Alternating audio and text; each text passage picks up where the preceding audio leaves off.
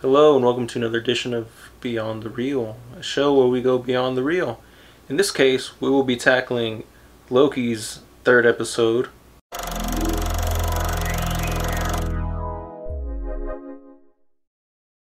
So, we're here to tackle Loki's third episode, which was okay. You know, um, there's a lot of action in it, surprisingly, and I I don't know. It just felt a lot different from the past episodes because it doesn't really feel like this had as much. To me personally, I don't feel like it had the same substance that the past episodes have had so far, and I'm really just curious as to what real purpose this is going to serve.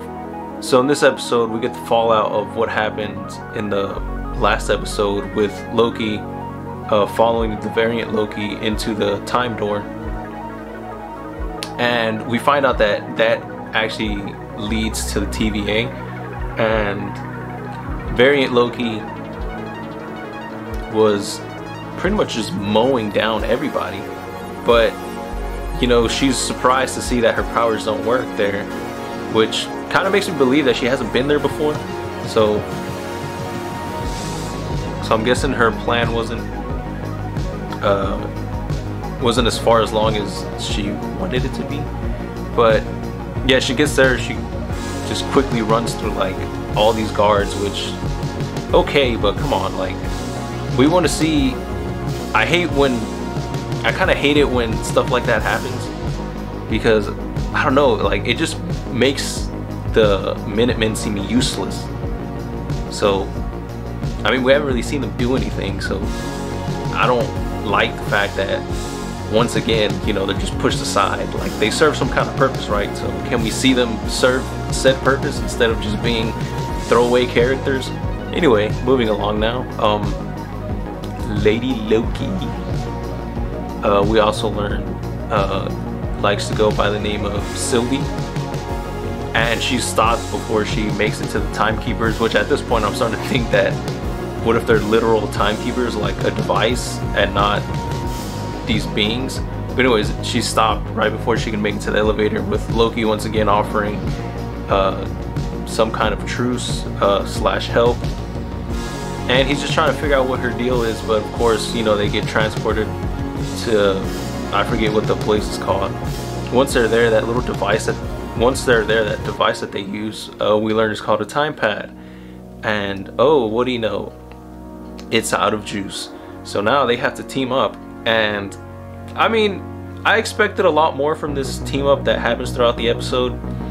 Um, I don't know, I just have a lot of questions about it because we learn because they're together and I feel like Loki is trying to get to know Sylvie a little more, but Sylvie is kind of being very vague, you know, as you can imagine because they don't trust each other. But I don't know. I, I figured we Loki would have, with his ability to pry, uh, as we've seen in other films, like uh, like what he did with Valkyrie, for example. Like he's able to extract bits and pieces of information from someone, and I was expecting for us to see that, uh, not necessarily in the same way, but through conversation.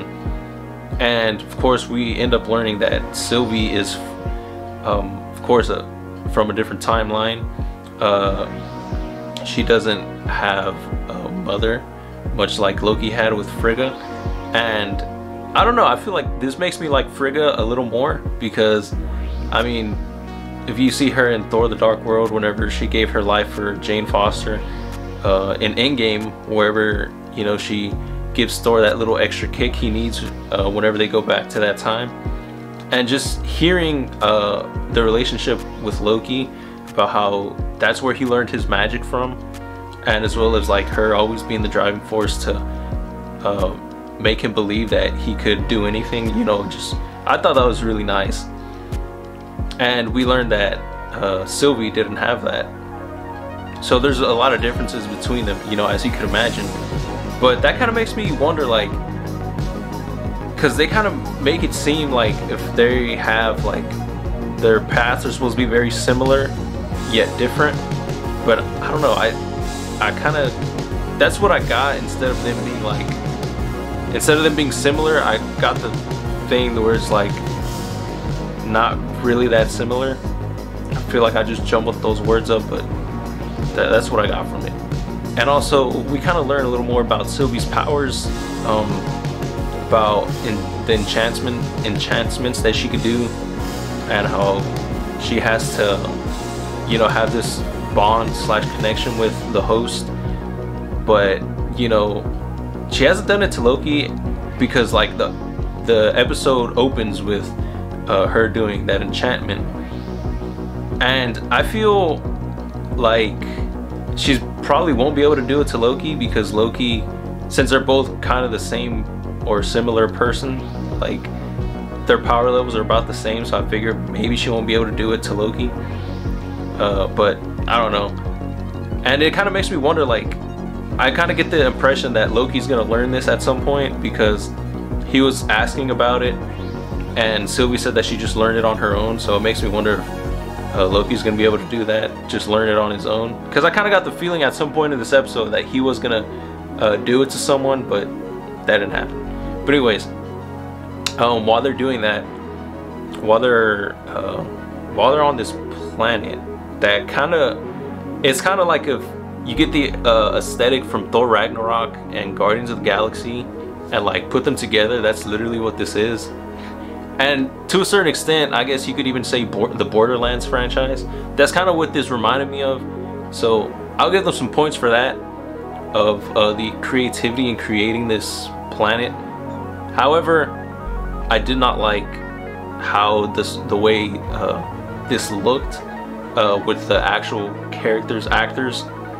Because there are times where it just looked weird. Like you can tell that it was just of course like on a green screen or something.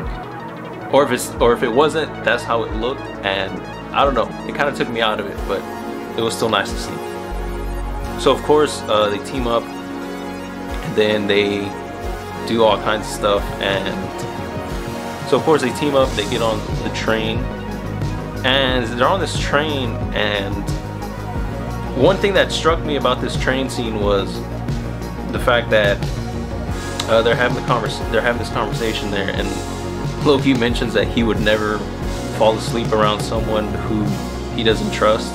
So Sylvie falls asleep and then she wakes up and she's she sees Loki's getting kind of wasted. So that makes me wonder like what if this whole thing is just him or her messing with him? But what that's just a thought. But anyways. So of course they get discovered and then they have to fight off more guards. Yay. But uh, Loki gets thrown out of a window, and I was like, okay, um, he, that seems to happen a lot, given in the last episode where he was being manhandled. But I don't know, they they do. He gets manhandled again. He gets thrown out the window. But you get a nice little action scene, and we get a call back to the first Thor film whenever uh, they're in the diner drinking coffee and he Thor smashes it and he's like, I like this drink, another. You know, Loki does that in this one. So I get this nice little callback. And then uh, in the process of that happening, Loki's time pad gets destroyed, so they have to go to this thing called the Ark because the Doomsday is gonna happen. So they think that they can get on it to save the people of the planet, so that way that will change the timeline, which I guess uh, obstructing the timeline would have the TVA appear to try to fix it, but given the TVA is being attacked, I don't know how that's gonna work. I'm guessing that was what they were going for, but I'm not sure.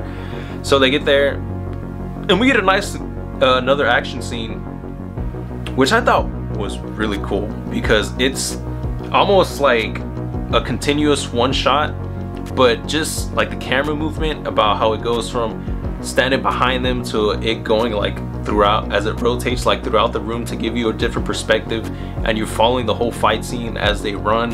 And Loki does this weird thing where he like he does telekinesis which to my knowledge at least I don't remember seeing him do that so that was kind of weird. And also another thing Loki genuinely seemed um he genuinely seemed like if he was concerned for the well the safety and well-being of these people so I kind of wonder like since Loki from 2012 I mean, this is Loki from 2012 who is still like very different from the Loki that you know we get to see progress throughout the film, throughout the films in the MCU. It makes me wonder if him seeing his life like kind of made him develop some sort of a conscience uh, from the first episode. So I don't know. That's just uh, something I picked up on, I guess. But yeah, that's what happens, and that's the episode. And I don't know. I feel like because in the end they they they still end up failing, so they're still stuck there, and the ark gets destroyed. So it makes me wonder overall how is this gonna help continue the story because I don't know it doesn't I don't feel like it added too much to it oh and then we also learned um, that everyone in the TVA is a variant of something so I don't know I feel like I kind of saw that coming but I need some more info on that because I mean like in the last episode where we see uh, Mobius where he's uh, talking about the magazine. I don't know, I feel like that was a, a good enough hint. And also on the TVA, uh, Sylvie talked about how she has a, some someone she's interested in who is a mailman. I think it'd be funny if it's actually a homeboy from from uh from the TVA, the mail dude. I think that'd be hilarious.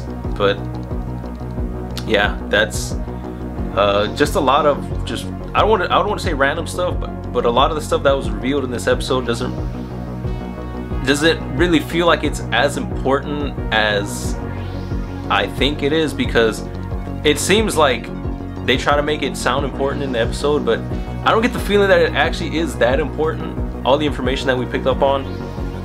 So I feel like I don't know. This is just the two characters hanging out, essentially going on like a side quest. That's kind of what it feels like. So I don't know. I just hope that we get more of Mobius and the TVA in the next few episodes because I don't know. I like them a lot and I feel like they have been the more interesting part of this whole series. And so far with Sylvie, I don't feel like she's as interesting yet. I don't feel she's as interesting yet compared to Mobius and the TV. I feel like that's more of a mystery than what Sylvie is doing. So, I mean, while this was a lot of good action, like, I don't know, it, it just didn't really do it for me. But I'm excited to see where the story goes, and I'm also curious to hear what you think. Um, I know, you know, you guys don't really leave many comments, but, you know, if you could leave a comment if you would like to, I'd be interested to hear what you think. And, I don't know, next week we can continue to talk about it uh, based on what happens in next week's episode. But yep, that's uh, my time for now. My name is Alex. This is Beyond the Reel. Thanks for hanging out, and we'll see what happens on next week's Loki time. All right, bye.